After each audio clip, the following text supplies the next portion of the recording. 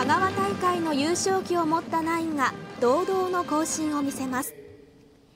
英明高校で開かれた壮行会にはおよそ100人の生徒らが集まり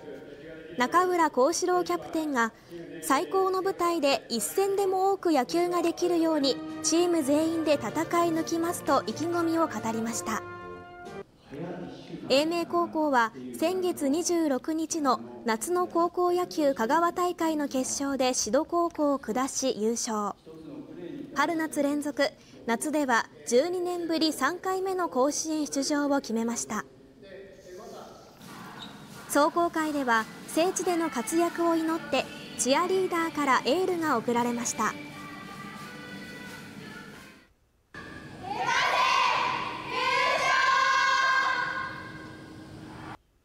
環境面だったり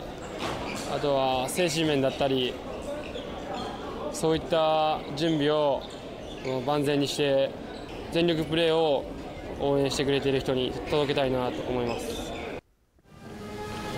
この後選手らは兵庫県の阪神甲子園球場に向かいました。夏の甲子園は明日組み合わせ抽選会が開かれ今月6日に開幕します。